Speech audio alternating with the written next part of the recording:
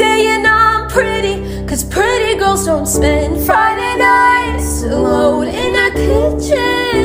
Stop saying I'm funny, cause funny girls don't lock themselves in a room to cry.